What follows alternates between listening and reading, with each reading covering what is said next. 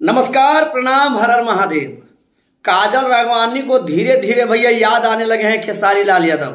जी हाँ आपको पता है कि काजल राघवानी का एक को फ़िल्म वगैरह कुछ नहीं आ रहा है। जो भी आ रहा है, चिंटू पांडे के साथ, जिसका फ़िल्म में नहीं चलता है। खेसारी लाल यादव के साथ या पवन सिंह के साथ बड़े स्टार के साथ काजल राघवानी का फ़िल्म में नहीं आ रहा है।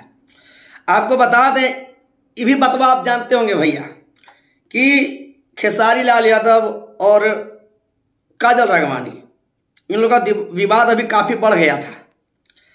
और अभी कुछ दिन पहले वो रील बनाई थी, काजल राघवानी। उस फ़िल्म में काजल राघवानी भी थी और खेसारी लाल यादव भी थे। जिस कारण से भैया वो रील बना तो बहुत सारे लोग को लगता हुआ ना, खेसारी लाल यादव ने भी इस फ़िल्म में काम किया काजल राघवानी ने भी इस फ़िल्म में काम किया इसीलिए काजल राघवानी ने भैया खेसारी लाल के गाने पर रील बना दिया। लेकिन खेसारी लाल यादव का एल्बम सॉन्ग। जी हाँ दांते से कटला राते गल लिया हो टमाटर लिखा। उस गाने पे काजल राघवानी ने भैया रील बनाया आप हमारे स्क्रीन पे देख लीजिए। जी हाँ इसको देखने के बाद ना जाने कितने विरोधियों का भैया होश उड़ गया होगा। खेसारी लाल यादव, खेसारी लाल यादव है।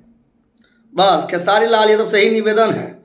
जिस तरह आप जिसको छोड़ दिए हैं, उसके साथ फ़िल्म मत कीजिएगा। नहीं तो भैया बस गड़बड़ हो जाएगा। हम लोग भी आपसे नाराज़ हो जाएँगे। जी हाँ।